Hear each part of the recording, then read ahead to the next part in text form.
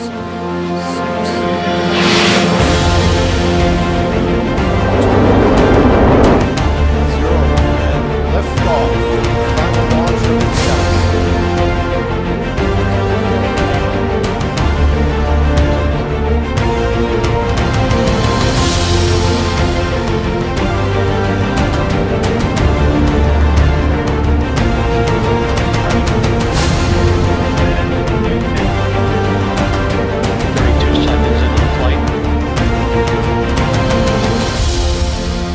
Tonight, I would like to talk to you about prayer.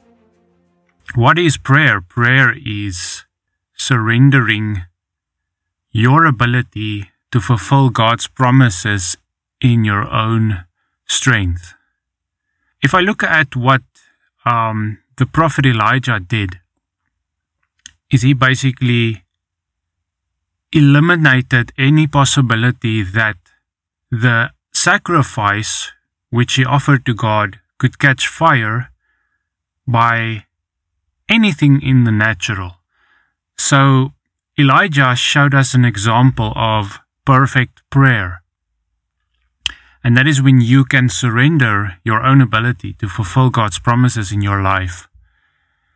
And for God's glory to show up in your life. And that is through pure and simple surrender.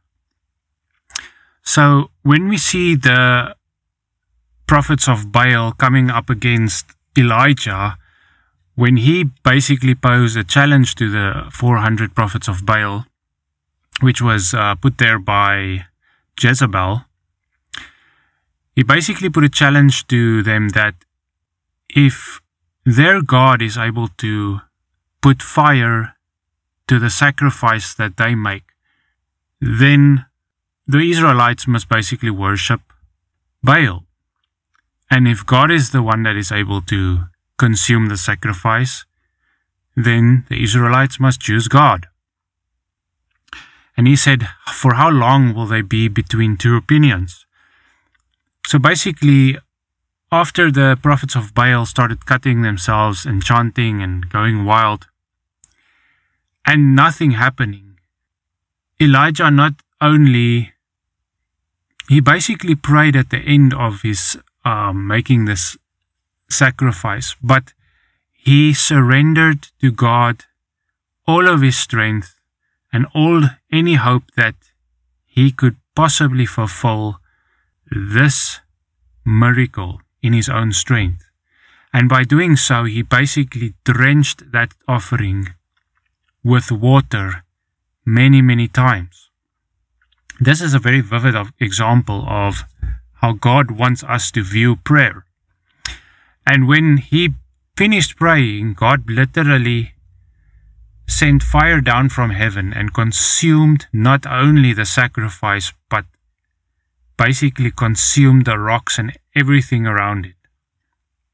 That is when God's glory shows up. And God's desire is that His glory will show up in our lives in the same way.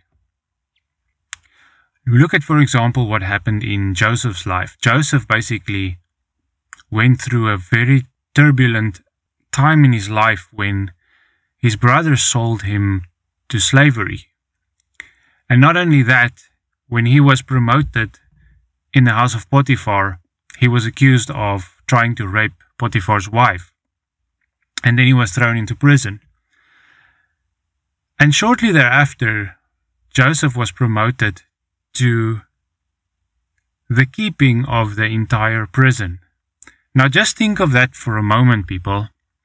Joseph had the keys of the prison itself. So Joseph could have escaped that prison any time that he wanted to. He literally was in charge of all of the prisoners. He could have done anything he wanted to at any time, and he could have escaped confinement. But what did Joseph do? He submitted to God in the process. He knew that it, was God that was taking him through a process. And he surrendered anything and any ability he had in himself to make the promise of God come to fruition in his own strength. Joseph could have escaped and he could have gone on with his life, but he knew that if he did anything in his own strength, he would have short circuited what God wanted to do in his life, and the promises of God would never come to pass. In fact, he would when you when the flesh interferes with with the process of God and the things that God wants to do in your life you put the flesh in motion and you sow to the flesh you literally create something that could destroy the entire plan of God for your life. Just like um, Abraham who had his son Ishmael. For Isaac to be born after um, Abraham messed up, he literally had to ban or kick out his son Ishmael out of the house because he knew that Ishmael would interfere with his son Isaac and he would become a thorn in the flesh. In fact, even now till today, the Muslims are a thorn in the flesh to the Jews and to the Christians. Um, it's not that we hate them, it's not that we um, despise them, but it is it's just a fact. In fact, the Bible says so. But look at when the Ark of the Covenant left the temple, and when they brought it, when David had it brought, wanted to bring it back,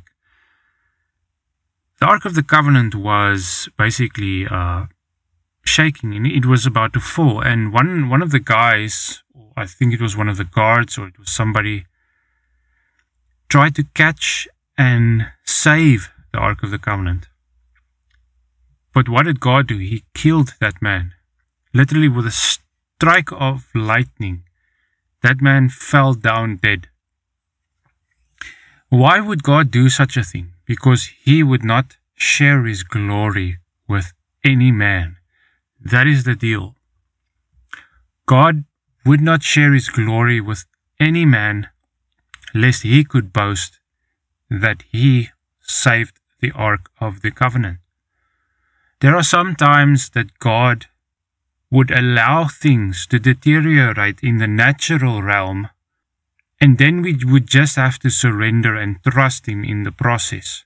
And we cannot allow we cannot allow ourselves to interfere or try to manipulate the situation to make it happen through our own, I would say, even our cunningness or uh, our wisdom or anything that we've acquired in life to try and prop up the, the thing to make it look better.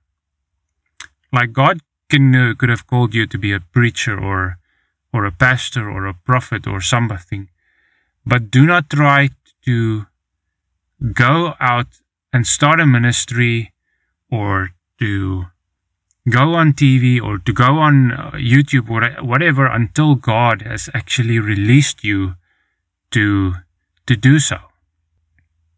He might take you through some training and in some some preparation in your life, and sometimes it might be a very long and a very rocky road.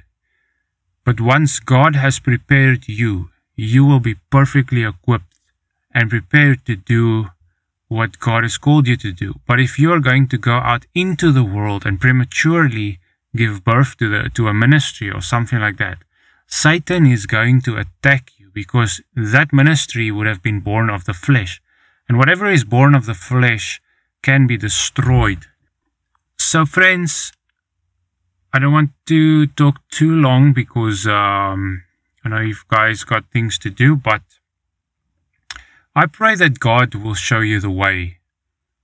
I pray that God would lead you and guide you and cause you to draw strength from Him. It sometimes costs a lot of time and effort to wait on God, and it's frustrating, but it's worth it. It is truly worth it because God will vindicate you. If you have been wronged God will turn your situation around. I hope you have a wonderful Christmas and a Happy New Year's, my friend. Until next time.